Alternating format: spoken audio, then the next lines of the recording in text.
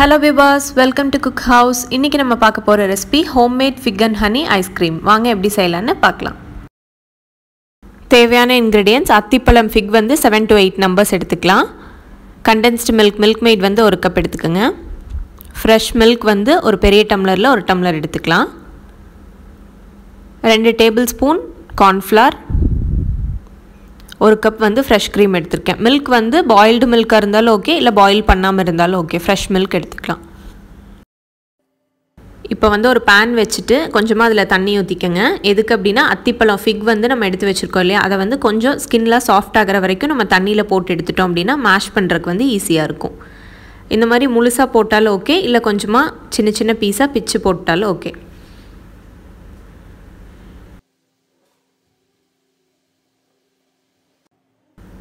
ஒரு சைட் வந்து நல்லா சாஃப்ட் ஆயிடுச்சு அப்படியே நம்ம திருப்பி விட்டுடலாம் இதே மாதிரி ஒரு ஃபைவ் டு டென் மினிட்ஸ் இருந்ததுன்னா இதை வந்து நம்ம ஈஸியாக மேஷ் பண்ணி எடுத்துடலாம்.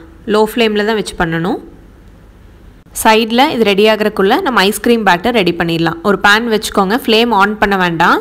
சும்மா ஒரு பேன் வச்சுட்டு நம்ம எடுத்து வச்சுருக்க ரெண்டு டேபிள் ஸ்பூன் கார்ன்ஃப்ளவர் போட்டுக்கலாம். அதில் வந்து நம்ம மில்க் எடுத்து வச்சுருக்கோம் இல்லையா பால்.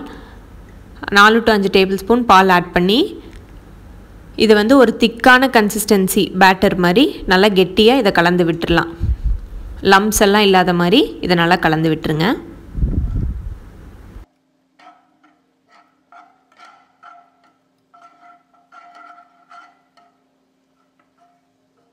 ஃபிக்ஸ் எல்லாம் நல்லா சாஃப்ட் ஆயிடுச்சு இந்த ஸ்டேஜில் ஃப்ளேமை ஆஃப் பண்ணிவிட்டு இது ஆறுனதுக்கப்புறம் ஒரு ஃபோர்க் யூஸ் பண்ணி கையிலேயே மேஷ் பண்ணலாம். இல்லைன்னா மிக்சியில் ஒரு கோர்ஸ் பேஸ்ட் மாதிரி கிரைண்ட் பண்ணி எடுத்துக்கலாம்.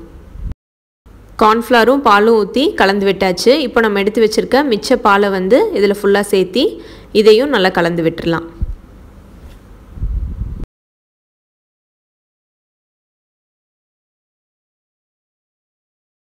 இப்போது கொஞ்ச நேரம் நல்லா கலந்து விட்டுட்டோம். இது வந்து அப்படியே திக்காக இருக்கும். இந்த ஸ்டேஜில் நம்ம எடுத்து வச்சுருக்க மில்க் மெய்ட் வந்து இதில் சேர்த்திக்கலாம். மில்க் மெய்ட் சேர்த்துனதுக்கப்புறம் தான் மில்க் மெய்ட் கலந்து விட்டுட்டு தான் நம்ம ஃப்ளேமையும் ஆன் பண்ணணும். அது வரைக்கும் ஃப்ளேம் ஆன் பண்ணிட வேண்டாம். மில்க் மெய்ட் ஊற்றிட்டு இதையும் நல்லா கொஞ்சம் நேரம் கலந்து விட்டுருங்க. மில்க் மெய்டு ஊற்றின உடனேயே அது ஒரு மாதிரி அடியில் அப்படியே கெட்டியாக சேர்ந்துரும். அடியில் இருக்கும். அதனால் இந்த மாதிரி எதாவது கரண்டி யூஸ் பண்ணி கொஞ்சம் நேரம் நல்லா கலந்து விட்டுட்டிங்கன்னா அது வந்து ஒரு திக் கன்சிஸ்டன்சி ஆகிற வரைக்கும் கலந்து விட்டுட்டே இருக்கணும்.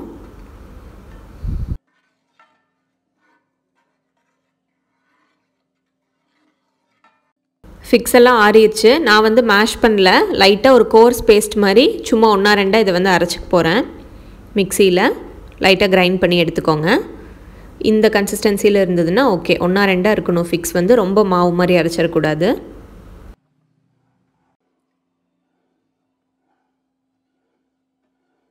மில்க் மெய்ட் ஊற்றி நல்லா கலந்து விட்டுட்டோம். இந்த ஸ்டேஜில் ஃப்ளேமை ஆன் பண்ணிவிட்டு ஃப்ரெஷ் க்ரீம் வந்து சேர்த்திக்கலாம். ஃப்ரெஷ் க்ரீம் வந்து யூஸ் பண்ணுறதுக்கு முன்னாடி நல்லா கலந்துக்கோங்க. அதுக்கப்புறம் இந்த மில்க் மெய்ட் பேட்டரில் உள்ளே ஊற்றி ஃப்ளேம் வந்து லோ ஃப்ளேம்லேயே இருக்கணும். நல்லா மிக்ஸ் பண்ணி விட்டுருங்க. ஃப்ரெஷ் க்ரீம் போட்டு நல்லா கலந்து விட்டோம். கொஞ்ச நேரம் அது லோ ஃப்ளேமில் நல்லா மிக்ஸ் ஆனதுக்கப்புறம் நல்லா திக் கன்சிஸ்டன்சியாக இருக்கும். அந்த ஸ்டேஜில் ஃப்ளேம் வந்து ஆஃப் பண்ணிடலாம் ஹனியும் ஃபிக்கும் போடுறதுக்கு முன்னாடி ஃப்ளேம் ஆஃப் பண்ணிடுங்க இது வந்து லைன் ஹனி எடுத்திருக்கேன் நான். ஐஸ்கிரீமுக்கு முக்கியமான இன்க்ரீடியண்ட்டே ஃபிக்கும் ஹனியும் தான். ஃப்ரெஷ் க்ரீம் போட்டு நல்லா கலந்து விட்டதுக்கப்புறம் ஃப்ளேமை ஆஃப் பண்ணிவிட்டு நம்ம கோர்ஸ் பேஸ்ட்டாக கிரைண்ட் பண்ணி எடுத்து வச்சுருக்கோம். அதை வந்து உள்ளே போட்டுக்கலாம். ஃபிக்கை மேஷ்டு ஃபிக்கை நல்லா கலக்காது நல்லா மிக்ஸ் ஆகாது. ஆனால் நல்லா அப்படியே ஏதாவது கரண்டி யூஸ் பண்ணி உடச்சி விட்டுட்டு அதை நல்லா கலந்து விட்டுருங்க.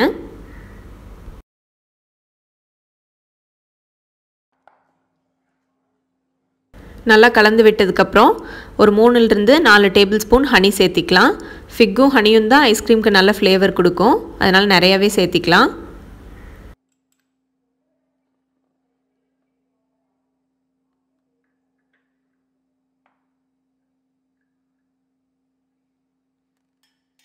ஹனி சேர்த்துனதுக்கப்புறம் ஒரு கரண்டி யூஸ் பண்ணி நல்லா எல்லா இன்க்ரீடியன்ஸும் நல்லா மிக்ஸ் ஆகிற மாதிரி கொஞ்சம் நேரம் நல்லா கலந்து விட்டுருங்க.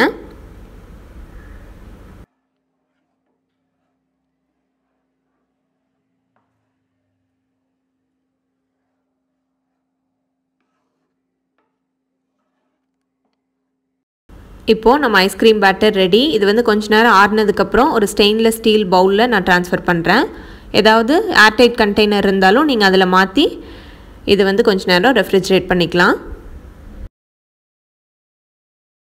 ஒரு ஒன் ஹவர் வந்து இது செமி செட் ஐஸ்கிரீம் ஆகிற வரைக்கும் இதை ரெஃப்ரிஜரேட் பண்ணி எடுத்துக்கலாம்.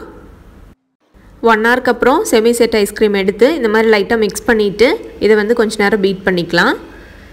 பீட்டர் ஹேண்ட் பிளெண்டர் இல்லை அப்படின்னா ஏதாவது விஸ்க் யூஸ் பண்ணி நல்லா மிக்ஸ் பண்ணி விட்டுருங்க.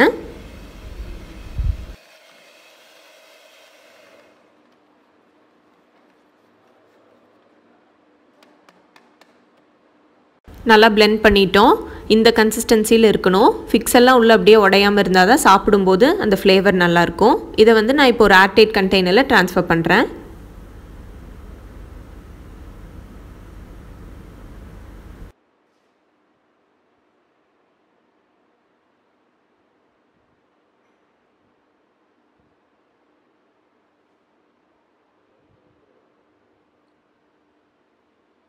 ஐஸ்கிரீம் பேட்டர் ரெடி ஆயிடுச்சு. இதை வந்து நல்லா ஏர்டைட் கண்டெய்னரில் இந்த மாதிரி க்ளோஸ் பண்ணி வச்சுட்டு யூஸ்வலாகவே ஐஸ்கிரீம் ரெடி ஆகிறதுக்கு ஃபோர் டு ஃபைவ் ஹவர்ஸ் ஆகும். நான் வந்து நைட் செஞ்சுருக்கேன். அதனால் இதை ரெஃப்ரிஜரேட் பண்ணிவிட்டு மார்னிங் எடுத்து நம்ம சர்வ் பண்ணிக்கலாம்.